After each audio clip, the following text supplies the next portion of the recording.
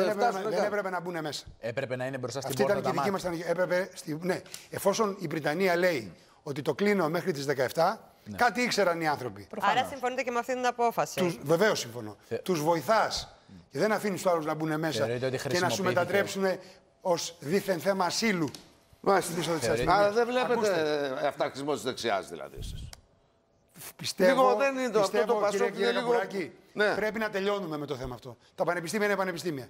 Για διακίνηση ε, ιδεών, για διδασκαλία, για Ναι, αμφισβήτηση, για οτιδήποτε. Δεν είναι χώρος για ναρκωτικά, για κουμπούρια Σύμφωνοι. και για τέτοια. Το να κλείνουν όμως και το Αριστοτέλειο έχει προβλήματα και έμεινε όταν, ανοιχτό. όταν έχουμε κουμπούρια και όταν έχουμε ναρκωτικά, δεν είναι άσυλο που Ναι. πρέπει να προστατεύσει αυτή την Το παρανομία. κλειστό πανεπιστήμιο δεν δείχνει και μια αδυναμία. Αδυναμία προστασίας ή αυτοπροστασίας ή Έχετε ό,τι απόλυτο άλλο. δίκιο, δείχνει μια αδυναμία σε μια μεταβατική περίοδο.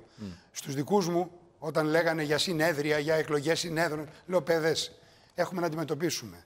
Χίλια δύο θέματα, ε, σύ- σύνταγμα, εκλογικό νόμο, απόδημους, προϋπολογισμό, βία στα πανεπιστήμια.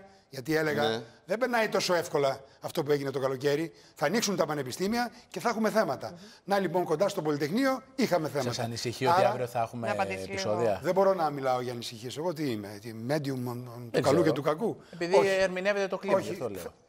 Θέλω, πιστεύω ότι η μνήμη του Πολυτεχνείου πρέπει να, να γιορταστεί αύριο. Χωρίς Άρα γεγονότα πότε με θα δούμε κουμπούρια. ενισχυμένα, πραγματικά ουσιαστικά ενισχυμένα σε ό,τι Άρα, αφορά το άρα άσυλο για να και σας την προστασία απαντήσω του. και να ολοκληρώσω την απάντησή μου σε εσάς. Πανεπιστήμιο. Ναι, πράγματι, στη μεταβατική αυτή περίοδο της φετινής χρονιάς, τα πράγματα πρέπει να γίνονται σταδιακά και μια απόφαση συγκλήτου που κλείνει το Πανεπιστήμιο την καταλαβαίνω.